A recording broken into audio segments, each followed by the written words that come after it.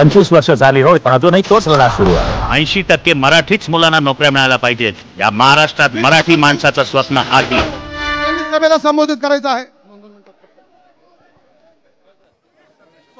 या बडे भाभीनी शहरात जो धुमाकूळ घातला त्याची सर्व या जिल्ह्यामध्ये देशामध्ये त्या नाशिकचं नाव या बाईंनी बदनाम केलं. शंभर शंभर दीड दीडशे कॉल गुन्हेगारांना ही बाई करते. पोलिसांवर दबाव टाकते. पोलिसांना बदल्या करण्याची ही बाई धमकी देते. आणि गेली दहा वर्ष हा सत्तेचा मात चालू आहे. संपूर्ण ड्रग्ज कॉलेज पर्यंत पोहोचलं. पानपट्टीवर पोहोचलं.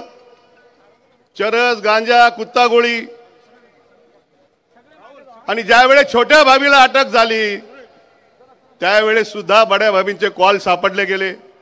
पोलिसांनी त्यांना सांगितलं की तुम्ही कुठंतरी चुकीचं काम करताय. परंतु सत्ता असल्यामुळं हा सत्तेचा माज या पद या पद्धतीने चालू होता. बड्या भाबीनंतर चिपड्या नावाचा एक माणूस या ठिकाणी गुन्हेगार पकडला गेला. सव्वा महिना तो जेलमध्ये होता आणि ऐन निवडणुकीच्या तोंडावर त्याचा जामीन या बाईंनी करून आणला. जामीन केल्यानंतर संपूर्ण कुटुंब घेऊन ही बाई त्याच्या घरी गेली. त्याचं स्वागत केलं. सर्वीकडे हे फोटो झळकले. तरी बड्या भाभीला लाज वाटत नाही. एवढे निर्णयतीपणे ती त्या ठिकाणी काम करते. आणि म्हणून मुस्लिम समाज यांच्यामध्ये दरी निर्माण करण्याचं बाईने काम केलं. तिकडं ओबीसीच्या मेळाव्याला जाऊन बाई भाषण करते मराठ्यांच्या विरुद्ध. इकडं मराठा समाजाला जाऊन पाया पडते. या बाईंनी सगळे जातीपातीचं राजकारण केलं. कोयता गँग या ठिकाणी निर्माण केली गेली. आणि म्हणून तुम्हाला आम्हाला वीस तारखेला या बाईला गाडावं लागणार आहे आणि म्हणून तुमची साथ या ठिकाणी पाहिजे आहे. मी आपल्याला मतदारसंघाच्या विकासाबाबत निश्चितपणे सांगेल कुंभमेळा येतोय. हे शहराचं नियोजन आपल्याला करावं लागणार आहे. हे शहर दत्तक घेऊन भकास केलेलं आहे. आणि त्या दृष्टिकोनातून साहेबांच्या आणि तुमच्यामध्ये जास्ती वेळ न घेता वीस तारखेला मशाल या निशा निशाणी समोरचं बटन दाबून मला या मध्य नाशिकची सेवा करण्याची संधी आपण द्याल अशी आशा व्यक्त करतो. थांबतो. जय हिंद जय महाराष्ट्र. धन्यवाद भाऊ. यानंतर वेळेअभावी मी या ठिकाणी सर्वांचं स्वागत करतो. आणि जिल्हा प्रमुख तथा पश्चिम विधानसभा मतदारसंघाचे शिवसेना आणि महाविकास आघाडीचे उमेदवार सुधाकर भाऊ बडगुजर यांना विनंती करतो आपलं या ठिकाणी मनोगत व्यक्त करायचं राजे छत्रपती शिवाजी महाराज भारतीय घटनेचे थोर शिल्पकार आदरणीय बाबासाहेब आंबेडकर आदरणीय हिंदू हृदय सम्राट बाळासाहेब ठाकरे यांना तिना त्रिवार मानाचा मुजरा आद आदरणीय उद्धवसाहेब यांना मानाचा मुजरा व्यासपीठावरील उपस्थित असलेले सर्व मान्यवर खासदार Rajabhau Waje Shobhatai Bachhav Babanana Gholap वसंतभाऊ Gite Anilji Kadam अपूर्वभाऊ Hire doctor D L Karad Anna Patil सर्वच व्यासपीठावरील मान्यवर. साहेब नाशिकमध्ये महाविकास आघाडीचे पंधराचे पंधरा उमेदवार निवडून आल्याशिवाय राहणार नाही. आजचं वातावरण असं निर्माण झालेलं आहे या ठिकाणी. परंतु भारतीय जनता पार्टीची जिवारी लागलेलं आहे फार. कारण आपल्या उमेदवारांना त्रास देत आहेत फार. पोलीस प्रशासनाला हाताशी धरून खोटे गुन्हे आपल्या उमेदवाराच्या कार्यकर्त्यांवरती ज्याच्यावरती एन सी सुद्धा नाही अशा लोकांना तडीपारीची नोटीस बजवत आहेत पोलीस प्रशासन एकतर्फी काम करत आहे आणि आपल्या महाविकास आघाडीच्या उमेदवारांना त्रास देण्याचा प्रयत्न करत आहेत आज आपले बी एल ए स्लिपा वाटत असताना त्या बी एल एला मारहाण केली. आणि मारहाण करून पोलीस स्टेशनला ज्यावेळेस आम्ही सहकार्य मागायला गेलो त्यावेळेस सहकार्याची भूमिका त्या ठिकाणी पोलिसांची दिसली नाही. परंतु जिल्हा निवडणूक अधिकाऱ्याला मी विनंती करेल निवडणूक आयोगाला विनंती करेल की पोलीस आयुक्त पोलीस प्रशासन हे तुमच्या अंडर असतात. जर निष्क्रियता असेल एकतर्फी कोणी एक लोकशाही मार्गाने जर निवडणूक लढत नसेल एकतर्फी काही कारवाई करत असेल तर त्यांची तात्काळ या ठिकाणाहून बदली केली पाहिजे. छोट्या छोट्या गुन्ह्यांमध्ये आमच्या लोकांना अडकवतात. आणि मग ही लोकशाही तुमची. विधानसभेची निवडणूक आलेली आहे. लोकशाही पद्धतीने निवडणूक लढा. प्रभागामध्ये वार्डामध्ये किंवा मतदारसंघामध्ये चुकीच्या पद्धतीने कामकाज करतात आणि आम्हाला शिकवतात. तुम आम्हाला माहिती आहे तुमचा पराभव निश्चित आहे. महाविकास आघाडीचे पंधराच्या पंधरा जागा निवडून येणार आहे. साहेब मी ज्या मतदारसंघातून विधानसभा लढवतोय त्या मतदारसंघाची आमदार दहा वर्ष झालीत. पण विकासाची गंगा तर आलीच नाही. पण भ्रष्टाचाराचे कुरण त्या ठिकाणी निर्माण झालेत. भारतीय जनता पार्टीचे तेरा नगरसेवकापैकी आज आपल्याकडे भारतीय जनता पार्टीचे बरेच नगरसेवक या ठिकाणी प्रवेश करतायत आपल्या साक्षीने. त्यावेळेस भारतीय जनता पार्टीच्या नगरसेवकांनी आरोप केलेत की आमच्या आमदार भ्रष्टाचाराचं भ्रष्टाचाराचं कुरण असून पाच लाखाच्या कामात अडीच लाख रुपये कमिशन मागतात. हे आम्ही नाही आरोप केले भारतीय जनता पार्टीच्या सदस्यांनी आरोप केलेत. आमचे आमदार निष्क्रिय आहे आम्ही नाही आरोप केले भारतीय जनता पार्टीने आरोप केले आहेत. या मतदारसंघामध्ये अठ्ठावीसशे कंपन्या आहेत दोन एम आय डी सी आहेत. सातपूर आणि Ambad M I D C इंडस्ट्रीची growth करणं गरजेचं आहे महा मेगा प्रोजेक्ट येणं गरजेचं आहे. पाच वर्षात दहा वर्षाच्या काळामध्ये मेगा प्रोजेक्ट या ठिकाणी आला नाही. आणि बेरोजगारीचा प्रश्न हा वाढत चालला. या मतदारसंघामध्ये जर अठ्ठावीसशे कंपन्या असतील आणि ह्या मतदारसंघानं संघातील युवकांना जर बेरोजगारचा सामना करावा लागत असेल तर हे चित्र काही बरोबर नाही. आपले महाविकास आघाडीचे सरकार आल्यानंतर साहेब या नाशिककरांसाठी एक मेगा प्रोजेक्ट आपण द्यावाच लागेल. आणि मला खात्री आहे आदरणीय उद्धव साहेबांचं प्रेम नाशिकवर खूप आहे आणि निश्चितपणाने एक मेगा प्रोजेक्ट दिल्याशिवाय ते राहणार नाही.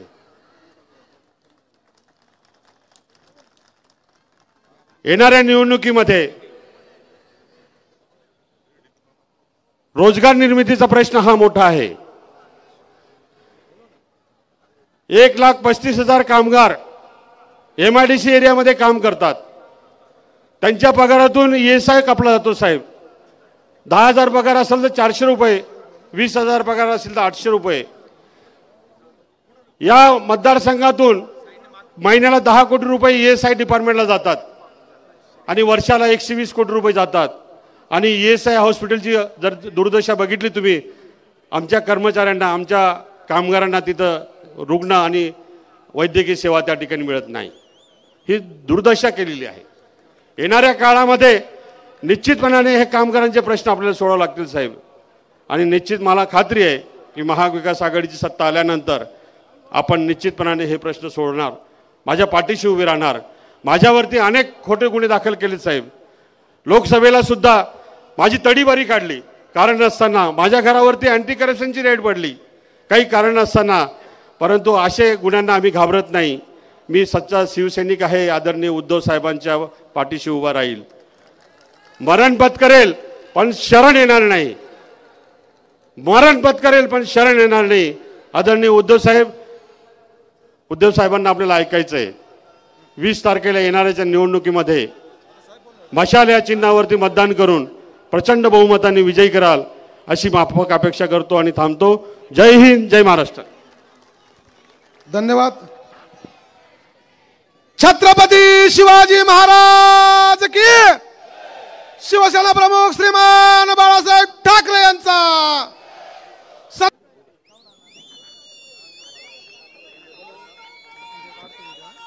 हिंदू हृदय सम्राट सरसेनापती. श्रीमान बाळासाहेब ठाकरे यांचा. अरे महाविकास आघाडीचा.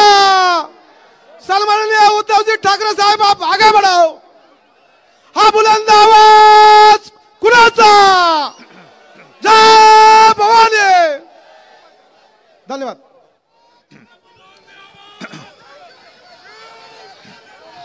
जमलेल्या माझ्या तमाम महाराष्ट्रप्रेमी बांधवानो भगिनीनो आणि मातानो या वर्षातली ही आपली तिसरी सभा आहे.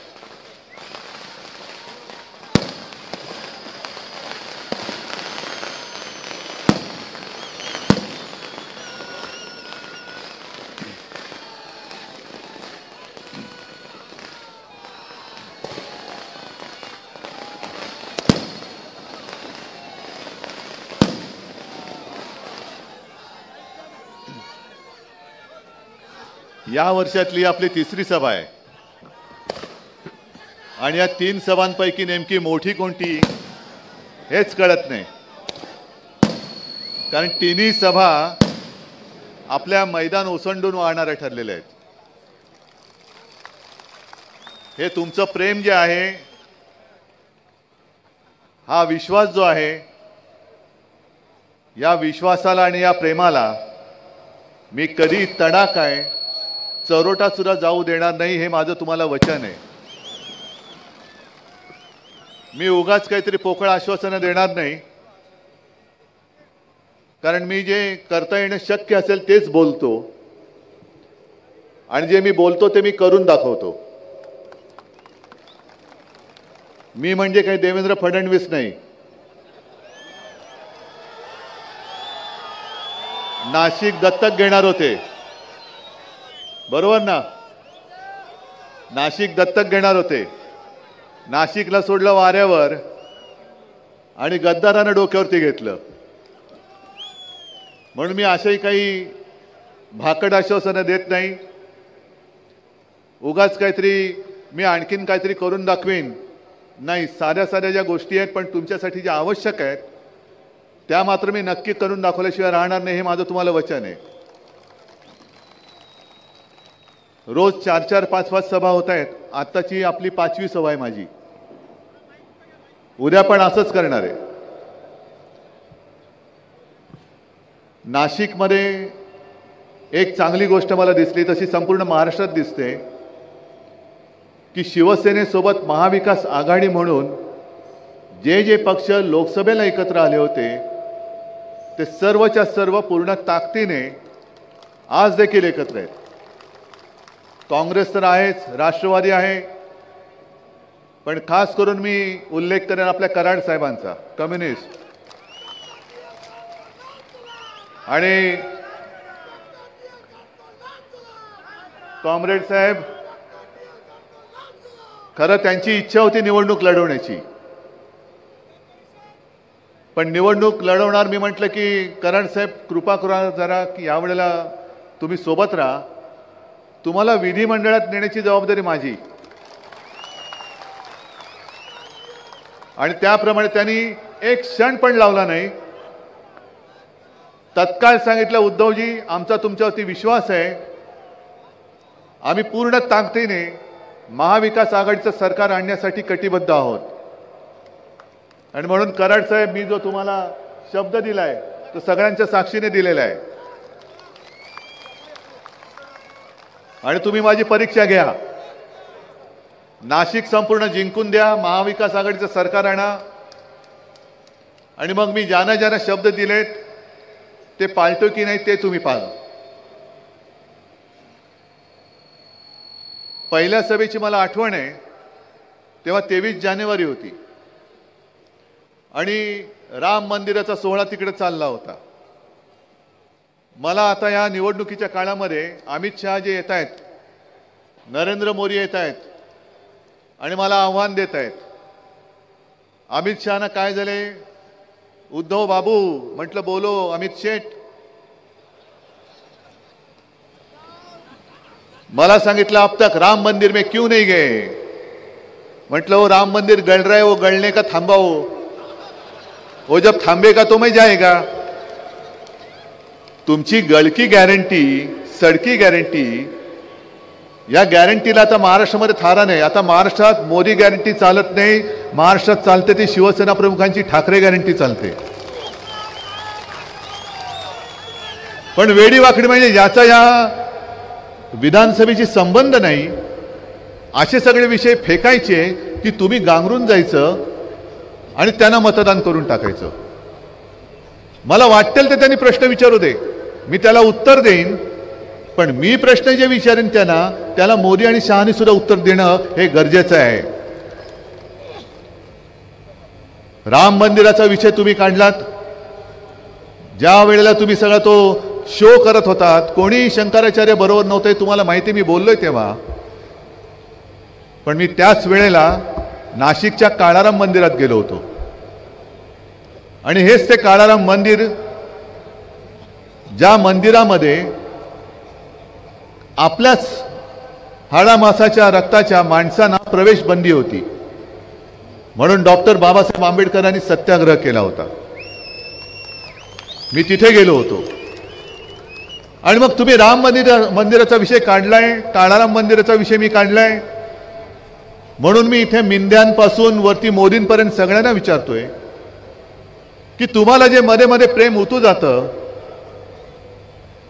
मध्येच डॉक्टर बाबासाहेब आंबेडकरांचं प्रेम त्यानं येतं. आता काल हिंदू हृदय सम्राट बाळासाहेबांचं प्रेम आलेलं आहे. पण बाबासाहेबांचं प्रेम मोदीजी तुमचं उतू जात असेल तर मग मी तुम्हाला एक प्रश्न विचारतो जो तुमच्या मिंद्यानं आणि देवेंद्रना विचारा की काही दिवसांपूर्वी एक दोन महिन्यांपूर्वी महाराष्ट्र शासनाने अल्पसंख्याक आयोग जो स्थापन केला त्या आयोगामध्ये साधारणतः अल्पसंख्य म्हणून जे जे समाज येतात त्यांचा प्रतिनिधी त्याच्यात घ्यावा लागतो. मग सगळे असतील जैन आहेत बौद्ध आहेत ख्रिश्चन असतील पारसी असतील मुस्लिम आहेत. मग तुम्ही यादी काढा आणि त्या यादीमध्ये एक सुद्धा माझ्या डॉक्टर बाबासाहेब आंबेडकरांनी जो धर्म स्वीकारला बौद्ध समाज त्याचा एक सुद्धा प्रतिनिधी आयोगात का घेतला नाही याचं उत्तर द्या आणि मग तुम्ही आम्हाला बाबासाहेबांच्या प्रेमाबद्दल शिकवा. एक सुद्धा नाहीये. मग कशाला थोतांड करताय? काल तिकडे शिवाजी पार्कला आले. ही बघा ना गर्दी माझी. ही मी नेहमी सांगतो ही माझी वडलोपार्जित संपत्ती आहे. काल शिवाजी पार्क अर्धं नाही अर्ध्याहून जास्त रिकामं होतं. अर्ध्याहून जास्त रिकामं. त्याच्या आधी कुठे गेले होते? देव जाणे कुठे कुठे फिरतायत आणि खुर्च्यांशी संवाद साधून जात आहेत पुढे. मग त्यांनी काल एक सांगितलं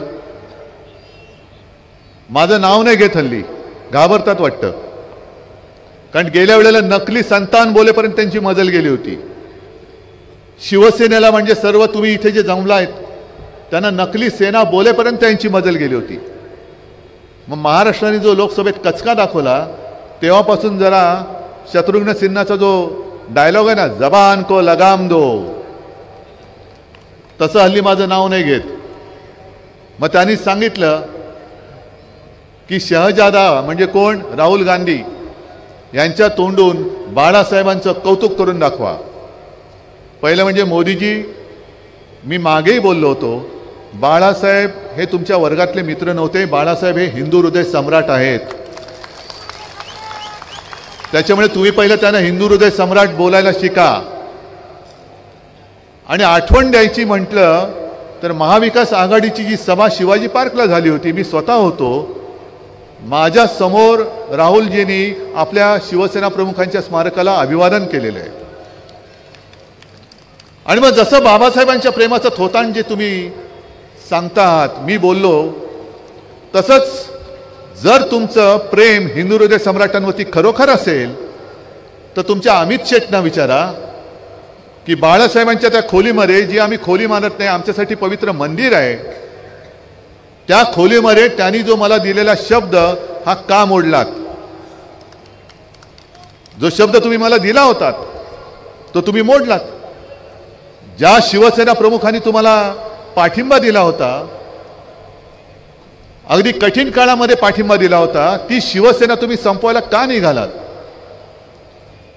तुम्ही माझ्याशी का कसे वागला ते आता लोकांना माहिती आहे. पण तरी क्षणभर धरून चाला की मी तुमच्याशी नालायकपणापणा केला असेल तर तुम्ही माझ्याशी वैर घ्यायला पाहिजे होतं. तुम्ही शिवसेना प्रमुखांची शिवसेना संपवायला निघालात पक्ष चोरला चिन्ह चोरला आणि त्या गद्दारांच्या प्रचाराला देशाचे पंतप्रधान येतात. की देखो देखो कैसा गद्दार है ऐसा गद्दार पुण्या दुनिया में नाही है. एवढी लाजीरवाणी परिस्थिती देशाच्या राजकारणात आजपर्यंत कधी बघितली नव्हती आणि कोणी अनुभवली नव्हती. म्हणजे एखादा चोर समजा आपलं काहीतरी पाकिट मारलं किंवा घरी दरोडा घातला तर पोलीस त्याला पकडतात. पण तो चोर असं ते चोरीचा माल घेऊन फिरत नाही. बघ बघ हे तुझं मी चोरलंय आणि ते आता माझंच आहे. तसे हे सगळे गद्दार चोर. मी तर त्यांना जाहीर आव्हान देतोय मिंदेना आव्हान देतोय. की जर तुम्ही खरोखर मर्दाची अवलाद असाल तर तुम्ही माझ्या वडिलांच्या ऐवजी स्वतःच्या वडिलांचा फोटो लावून मतं मागून दाखवा. मग कळेल स्ट्राईक रेट म्हणजे काय असतो तो. तुम्ही लोकांना संभ्रमात टाकताय. माझं चिन्ह चोरून निशाणी जुनी दाखवून जणू काही असा आभास आणताय की हीच खरी शिवसेना. आणि मी निवडणूक आयोगाला सुद्धा वारंवार सांगतोय की तुम्ही चिन्ह माझं इकडचं तिकडे करू शकाल कदाचित कारण तो तुमचा अधिकार आहे. पण शिवसेना हे नाव माझ्या वडिलांनी माझ्या संघटनेला दिलेलं आहे. ते बदलण्याचा अधिकार मी निवडणूक आयोगाचा मानत नाही मानायला मी तयार नाही. पण या विधानसभेच्या निवडणुकीमध्ये मी राज्यभर जे काय फिरतोय जसं मगाशी वसंतराव तुम्ही बोलत होतात की गुंडागर्दी वाढते कोयता गँगची दहशत वाढते ड्रग्ज सगळीकडे पसरत आहेत काय? कोण जबाबदारी घेणार त्याची? महिलांवरती अत्याचार वाढत आहेत आणि देवेंद्र कोणत्या युगामध्ये राहत आहेत काल शिवाजी पार्कवरनं त्यांनी मला दुसरं एक आव्हान दिलं आणि सगळ्यांना एक आवाहन केलं की तुम्ही सगळ्यांनी मतांचं धर्मयुद्ध करा.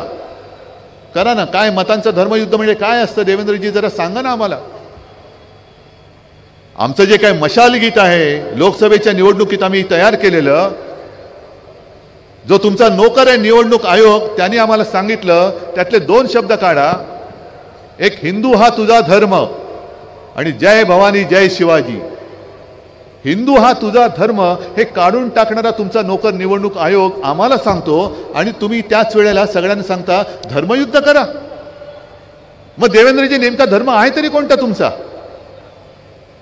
आम्ही धर्माच्या नावावर मतं नाही मागितली. आज तुमचं जे काय चाललेलं आहे या भाजपचं त्यांच्याकडे काही मुद्दे नाहीत. अरे धर्मयुद्ध म्हणण्यापेक्षा स्वतःची कर्म काय आहेत ती पहिली लोकांना सांगा ना की आम्ही हे तुमच्यासाठी केले म्हणून आम्हाला मतं द्या. जसं मी सांगतो मी अडीच वर्ष मुख्यमंत्री होतो. पण अडीच वर्षाच्या काळामध्ये करोनासारखं संकट हे संपूर्ण जगावरती आलेलं असताना देशामध्ये सातत्याने करोनापासून आपली जनता वाचवण्यामध्ये महाराष्ट्र नंबर एक होता नंबर एक. गुजरातमध्ये सार्वजनिक चिता पेटल्या होत्या. उत्तर प्रदेशमध्ये सार्वजनिक चिता पेटल्या होत्या. गंगेमध्ये प्रेत वाहत होती.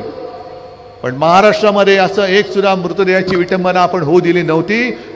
एवढंच नाही तर औषधं असो ऑक्सिजन असो रुग्णशय्या असो कुठेही कसलेही कमी आपण पडू दिली नव्हती.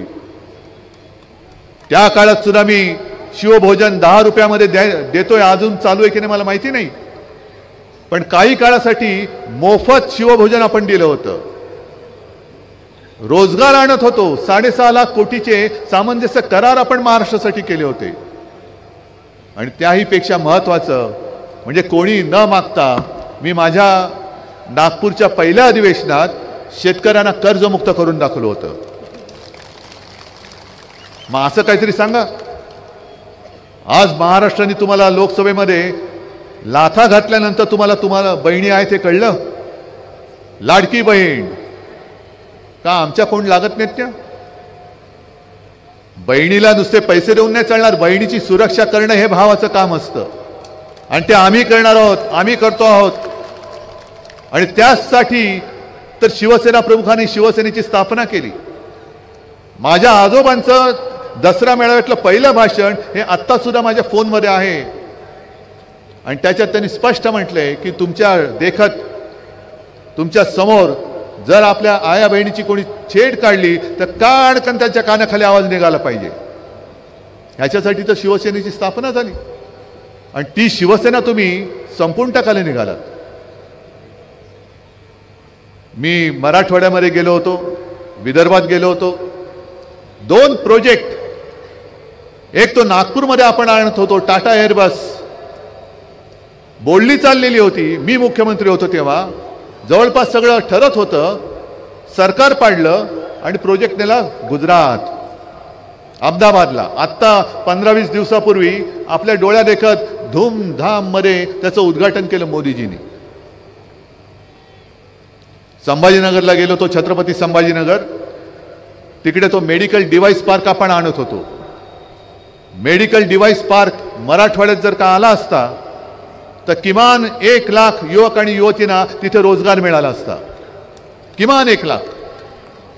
कुठे नेला? गुजरात. सगळं काही गुजरात गुजरात गुजरात. आमचं भांडण इकडे आहे. आम्ही गुजरातचे काही द्वेष्ट नाही आहोत गुजराती लोकांशी आम्ही काय शत्रू म्हणून बघत नाही त्यांना. पण आमच्या हक्काचं जे काही आहे ते उचलून तुम्ही गुजरातला नेताय आणि परत बेशरमपणाने माझ्या महाराष्ट्राकडे मतं मागायला येत आहे. याला आमचा आक्षेप आहे. आम्हाला आमच्या हक्काचं पाहिजे. महाराष्ट्र कधी दुसरं कोणाचं ओरवाडून घेणारा नाहीये. तो स्वतःच्या हिमतीवरती स्वतःच्या ताकदीवरती सदैव उभा राहणार आहे. आणि एवढंच नाही तर ज्या ज्या वेळेला देशावरती संकट येतं त्या त्या वेळेला महाराष्ट्र पहिलं छातीचा कोट करून देशाच्या रक्षणासाठी धावून जातो. आज आपण ज्या मैदानात जमलोय ते सुद्धा अनंत कानेरे मैदान. कोण होते अनंत कानेरे? काय वय होतं त्यांचं? कशासाठी फाशी गेले? काय केलं त्यांनी? काय माहिती होतं त्यांना की आपण ज्या कारणासाठी फाशी जातोय ज्या देशासाठी फाशी जातोय तो देश या अशा नतद्रष्टांच्या हातामध्ये जाणार आहे. तेव्हा त्यांनी हे नाही बघितलं की माझ्या महाराष्ट्रासाठी मी काम करीन. नाही त्यांनी संपूर्ण देशाचा विचार केला. मग संपूर्ण देशासाठी आपला बलिदान देणारी माणसं क्रांतिकारक ज्या महाराष्ट्राने जन्माला घातली त्या महाराष्ट्राबरोबर तुम्ही असा वैभव का करतात? या नाशिकमधनं आजपर्यंत तुम्ही कितीतरी वेळेला भाजपाचे आमदार निवडून दिले. आम्हीच होतो त्यांच्याबरोबर आपणच होतो त्यांच्याबरोबर. एकोणीस दोन हजार एकोणीसला आपणच म्हणजे मी तेव्हाही आलो असेल इकडे युतीचा प्रचार करायला. युतीचा प्रचार करायला. पण त्याच्यानंतर आत्ताची जी काही परिस्थिती आलेली आहे ही बघितली आणि त्यांची जी नीती आहे वापरा आणि फेका. मी इथे आलेले तुम्ही तर आपल्या महाविकास आघाडीचे आणि शिवसेनेचे कट्टर शिवसैनिक आहातच. तुम्ही या आपल्या सगळ्या उमेदवारांना निवडून देणारच. पण जे कोणी या चॅनलच्या माध्यमातून महाराष्ट्रभर माझं भाषण ऐकत असतील त्या इतर पक्षाच्या कार्यकर्त्यांना आणि मतदारांना पण मी सांगतोय. अगदी भाजपच्या लोकांना सुद्धा सांगतोय. आज बघा ना केवढी गर्दी व्यासपीठावरती उसळली शिवसेनेत प्रवेश करायला. मी त्या सगळ्यांना सांगतोय की तुम्ही असाल भारतीय जनता पक्षाचे तुम्ही असाल कोणत्या मिंद्याचे तर कोणी असूच शकत नाही. अजित पवारांचे असाल आणखीन कोणी असाल आणखीन कोणी असाल. पण कृपा करून आपला महाराष्ट्र हा गुजरातच्या चरणी जे व्हायला निघालेत त्यांना मत देऊ नका हे मी जाहीर आवाहन आज तुमच्या माध्यमातून आणि या चॅनलच्या माध्यमातून करतो. ही एक प्रकारे महाराष्ट्राची गद्दारी होईल. जे महाराष्ट्र खतम करायला निघालेत महाराष्ट्र लुटतायत त्या महाराष्ट्र द्रोह्यांच्या हातामध्ये किंवा महाराष्ट्र द्रोह्यांना मत देणं म्हणजे ही आपल्या महाराष्ट्राशी केलेली गद्दारी ठरेल. मी माझ्यासाठी लढत नाहीये. अनेक जण विचारतात मला की उद्धवजी तुमच्या अस्तित्वाची लढाई आहे का? म्हटलं माझं अस्तित्व हे ठरवणार आहेत मोदी शहा नाही. हे जोपर्यंत माझ्यासोबत आहे तोपर्यंत माझं आयुष्य आहे.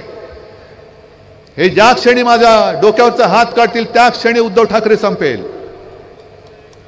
पण जोपर्यंत माझ्या अंगामध्ये श्वास आहे र- प्राण आहे तोपर्यंत मी माझा महाराष्ट्र लुटायला देणार नाही. महाराष्ट्राचा घात जो करेल त्याला प्रतिकार करणार म्हणजे करणारच. संपूर्ण महाराष्ट्र आज त्रासलेला आहे ग्रासलेला आहे. अनेक ठिकाणी म्हणजे मी गेल्या वेळेला पण आलो होतो लोकसभेची निवडणूक झाली मोदींची सभा झाली होती. आज सुद्धा ते चित्र माझ्या डोळ्यासमोरून हालत नाहीये. एका शेतकऱ्याने उभं राहून मोदीजींना कांद्याविषयी बोललं होतं काय नजरेने मोदींनी त्यांना पाहिलं होतं. आणि त्याला बाहेर काढला गेला होता. मग शेतकऱ्यांनी त्याच्या प्रश्न त्याच्या विषयाबद्दल प्रश्न नाही विचारायचे. नुसत्यांचं गुणगान गायचं नुसत्यांचा उदो उदो करायचा पण आमच्या कांद्याला भाव कधी मिळणार हे विचारणं हा गुन्हा झालेला आहे. सोयाबीनला भाव कधी मिळणार हे विचारणं हा गुन्हा झालेला आहे. कापसाची खरेदी कापसाला भाव कधी मिळणार? बेकारांना रोजगार कसा मिळणार? हे नाही विचारायचं. हे विचारलं तर तुम्हाला आत टाकू. तडीपार करू. जसं तुम्ही माझ्या कार्यकर्त्यांना तडीपार करता आहात खोट्या केसेस टाकता आहात आमच्या बडगुजरला तुम्ही त्रास देताय त्यांच्या मुलाला तुम्ही छळता आहात सगळी माझ्या शिवसैनिकाची कुटुंब कशाला माझ्या कुटुंबाला बदनाम करता आहात? आम्ही माणुसकी पाळणारी लोक आहोत आम्ही शंड नाही आहोत. जर आम्ही तुमच्याशी सुडाने वागायचं ठरवलं तर तुमच्या दसपटीने आम्ही तुमचा तुम्हाला संपवण्यासाठी पावलं टाकू शकतो. आणि आज पण मी सांगतोय की दहा दिवस थांबा. तुम्ही सगळे मिळून जर तुम्ही सरकार दिलं ना तर यांच्यावरती जसं आमच्यावरती असले नसलेल्या केसेस टाकतायत तशा यांची पापं खोडून काढून यांना तुरुंगात टाकून दाखवल्याशिवाय राहणार नाही. आणि मी पोलिसांना सुद्धा सांगतोय की तुम्ही भाजप आणि मिंद्याचे नोकर नाहीत तुम्ही जनतेचे नोकर किंवा सेवक आहात. तुम्ही तुमच्या वर्दीचा अपमान होईल असं वागू नका. सरकार येत असतं सरकार जात असतं. उद्याचं सरकार आहे आमचं आहे. उद्याचं सरकार आहे आमचं आहे. त्याच्यामुळे त्यांची मस्ती ती मस्ती उतरवायला हा जनसमुदाय हा तत्पर आहे. तो उतरवेल त्यांची मस्ती. पण नंतर तुम्हाला आमच्या सरकारमध्ये काम करावं लागणार आहे. आज सुद्धा काही ठिकाणी काही झकाझकी झाली मारामारी झाली. ऐन मतदानाच्या दिवशी सुद्धा येण्याची शक्यता आहे. कारण माझ्या कानावर जे आलंय ते म्हणजे असं आहे की मतदानाच्या दिवशी जिथून शिवसेनेचे मतदार उतरणार आहेत तिकडचं मतदान स्लो करा. तिथे मतदान जास्त होऊ देऊ नका अशा सूचना आतापासून जायला लागलेल्या आहेत. पण याद राखा असं जर का आडकाठी करण्याचा प्रयत्न केला मग निवडणूक राहील बाजूला आणि भाजपला मी आव्हान देतोय हिंमत असेल तर पोलीस बाजूला ठेवा आणि समोर येऊन लढा. आमची दोन दोन्हीची तयारी आहे. निवडणूक लढायचे निपक्षपातीपणाने लढा. तुमचा ईव्हीएमचा घोटाळा त्याच्यात करू नका. आमच्या मतदारांना अडवू नका. आणि मग निपक्षपातीपणाने निवडणूक झाल्यानंतर जो जनता कौल देईल तो आम्हाला मान्य आहे. जर जनतेने आम्हाला सांगितलं घरी बसा आम्ही घरी बसायला तयार आहोत. आणि तुम्हाला सांगितलं घरी बसा तुम्हाला घरी बसावं लागेल. आणि मैदानात लढायचं असेल तर शिवसेना प्रमुखांचे शिवसैनिक हे आज सुद्धा तयार आहेत. पण तुम्ही तुमचं मग ED income tax CBI police हे मध्ये आणू नका. त्यांना कॉमेंट्रेटर म्हणून तिकडे बाहेर ठेवा आणि करा या मैदानामध्ये. बघतो तुम्हाला. आमच्या लोकांना धाक दाखवत आहे आमच्या लोकांना पैसे देऊन फोडताय. पण जे जे गद्दार म्हणून तिकडे गेलेले आहेत त्या गद्दारांना सांगतोय अरे गद्दारानं तुम्ही गेलात आमच्यावरती उपकार केले. कारण आता अनेक नवीन तरुण हे तुमची जागा घेऊन तयार झालेले आहेत लढाईला. आणि मी बऱ्याच वेळेला जे बोलतो की झाडावरची जुनी सडलेली पानं ही झडलीच पाहिजेत. ती झडल्यानंतर पुन्हा नवीन कोंब उगवतात. तसं आज माझ्या शिवसेनेला ठिकठिकाणी कानाकोपऱ्यात नवीन कोंब उगवलेले आहेत. जुनी पानं सडून गेलेत. जी सडलेत ती झडून गेलेत. आणि झडलेली पानं ही जर का आम्ही पुन्हा चिकटवत बसलो तर मग ते झाड कधीच बहरणार नाही. हे बघा ना कसं बहरून आले. हे खरं शिवसेनेचं काम आहे. हे शिवसेना प्रमुखांची पुण्याही माझ्या मागे उभी आहे. मोदीजी तुमच्या लक्षात नाही येणार. काल ते जे बोलले की शिवसेनेचा रिमोट कंट्रोल काँग्रेसच्या हातात दिलेला आहे. अहो तुम्हाला तो रिमोट कंट्रोल हातात घ्यायचा होता. आणि पंचवीस तीस वर्ष आम्ही तुमच्यासोबत होतो. आमचा रिमोट कंट्रोल तुमच्या हातात नाही गेला तर मी काय तो काँग्रेसच्या हातात द्यायला हातामध्ये द्यायला काय वेळ आहे की काय? काँग्रेस आणि आम्ही सोबत जरूर आहोत जसं तुम्ही आम्ही होतो. उद्धव ठाकरेने म्हणे शिवसेनेची काँग्रेस केली. अरे भाजपा नाही होऊ दिली तर मी काँग्रेस कशी काय होऊ देणार? पण यांनी गद्दारी करून सरकार का पाडलं? कारण यांना महाराष्ट्र लुटायचा आहे. होय मी स्पष्ट बोलतो. हा आरोप नाही ही सत्य परिस्थिती आहे. कारण जर का तुम्ही बघितलं बऱ्याच सभेमध्ये मी बोललेलो आहे. जर विधिमंडळाकडे आपण पाहिलं महाराष्ट्र शासन म्हणून पाहिलं तर जो गद्दार डोक्यावरती तुम्ही बसवलात मुख्यमंत्री म्हणून तो ओरिजिनल शिवसेना पक्षाचा. दोन्ही सभागृहाचे अध्यक्ष आणि सभापती जे आहेत हे सुद्धा माझ्या शिवसेनेचे. दोन्ही सभागृहाचे विरोधी पक्ष नेते आहेत. एक विजय वडेट्टीवार हा सुद्धा पूर्वाश्रमीचा शिवसैनिक आणि अंबादास दानवे तर आत्ताचा शिवसैनिक. अर्ध्याहून अधिक मंत्री हे शिवसेनेचे आहेत. मग तुम्हाला सगळे शिवसेनेचं तिकडे चालतंय पण उद्धव ठाकरे चालत नाही कारण उद्धव बाळासाहेब ठाकरे तुम्हाला महाराष्ट्र लुटू देत नव्हता आणि देणार नाही हे तुम्हाला माहिती होतं. म्हणून आणि म्हणूनच तुम्ही तुमचे बूट चाटणारे गद्दार तुमच्याकडे घेतले आणि महाराष्ट्र लुटायचा कार्यक्रम चालू ठेवलाय. आपण जे काय करतो आहोत मी कालच्या संभाजीनगरच्या सभेत सुद्धा सांगितलं की स्वतः शिवसेना प्रमुखांना शाळेची फी भरायला पैसे नव्हते म्हणून सातवीमध्ये शिक्षण सोडायला लागलेलं. माझ्या आजोबांना म्हणजे प्रबोधनकारांना सुद्धा साधारणतः सहावी सातवीमध्येच शिक्षण सोडायला लागलेलं कारण पैसेच नव्हते घरामध्ये. आता सुद्धा अनेक शेतकरी असे आहेत अनेक गोरगरीब असे आहेत की त्यांना मुलांना शिकवायचंय मुलांना शिकायचंय. वयोमानाप्रमाणे आता ते शिकू शकत नाहीत पण त्यांच्या मुलांना त्यांना शिकवायचंय. पण एक तर शेतकऱ्याच्या डोक्यावरती कर्ज आहे. घर चालण्याची पंचायत आहे घरी घरी घर खर्चाला पैसे येत नाहीत. मग मुलांना शिकवायचं कसं? आणि म्हणून जे मी ठरवलेलं की आपलं सरकार आल्यानंतर जसं मुलींना मोफत शिक्षण दिलं जात आहे तसं माझ्या महाराष्ट्रात जन्मलेल्या प्रत्येक मुलाला मी मोफत शिक्षण दिल्याशिवाय राहणार नाही. मग नाव कशाला घ्यायचं? महात्मा फुलेंचं नाव घ्यायचं कशाला? त्यावेळेला जर का महात्मा ज्योतिराव फुले आणि सावित्रीबाई यांनी पुढाकार घेतला नसता तर मुली शिकूच शकल्या नसत्या. त्यावेळेला मुलींना शिकवणं मुली शिकणं म्हणजे जणू काय मोठा गुन्हा होतोय. मग तो जो काय काळ होता किती वर्षांपूर्वीचा तेव्हा हे धाडस आमच्या महात्मा ज्योतिराव फुलेनी केलं सावित्रीबाई फुलेनी केलं. त्या प्रसंगी त्यांनी धोंडमार सहन केली शेणमार सहन केली पण हटले नाहीत. ते हटले नाहीत.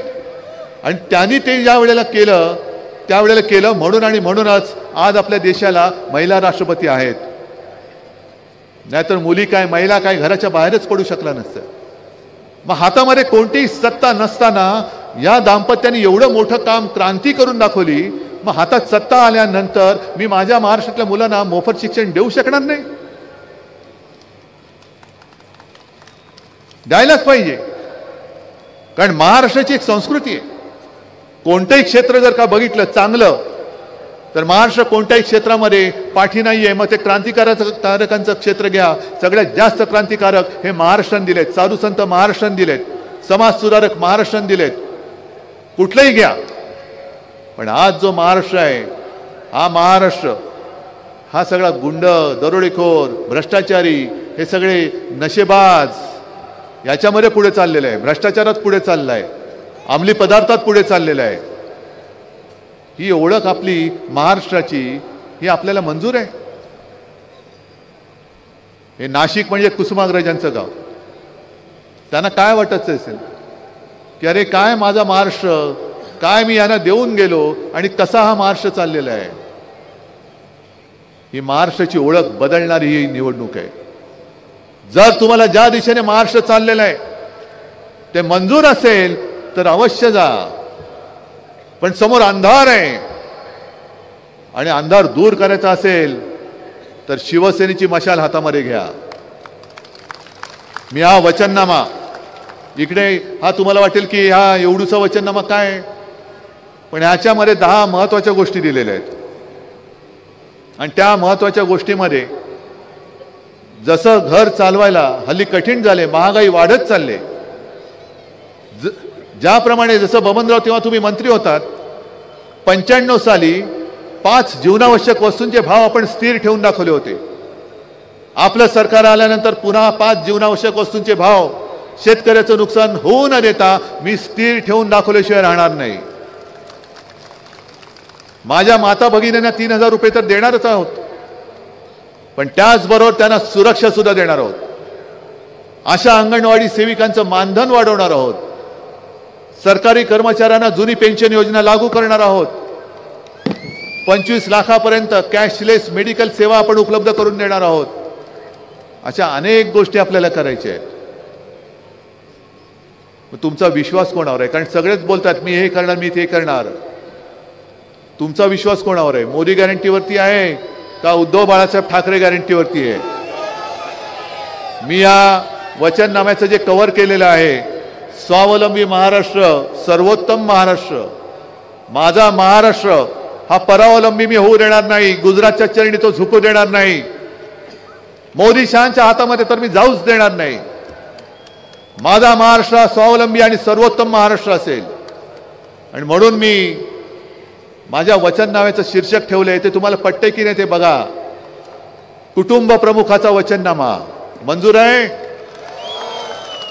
कारण तुम्ही जे मला एक आदराचं स्थान दिले प्रेमाचं स्थान दिले अरे मुख्यमंत्री होतात आणि जातात.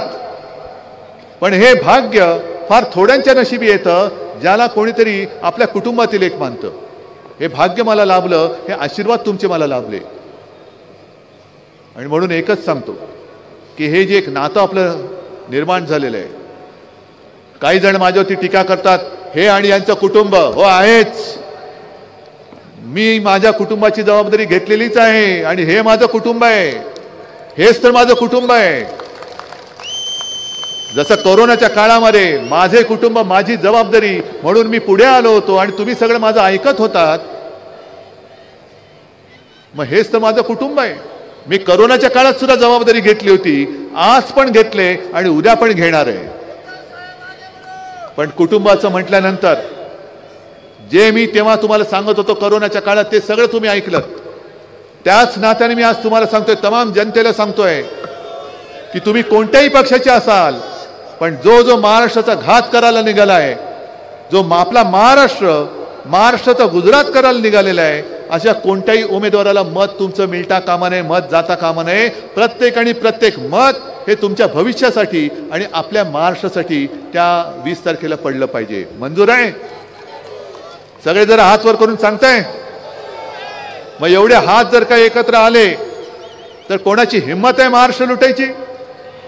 बस. मग या हाताने येत्या वीस तारखेला हे पवित्र काम तुम्हाला करावंच लागेल. आणि आपली निशाणी काय? मशाल. जिथे जिथे मशाल असेल तिथे मशाल. हाताचा पंजा असेल तिकडे हाताचा पंजा. आणि जिथे तुतारी असेल तिकडे तुतारी. धन्यवाद. जय हिंद जय महाराष्ट्र. धन्यवाद साहेब. आणि देवानंदचे बिरारी हे राष्ट्रगीतांनी या ठिकाणी सभेची सांगता करत आहे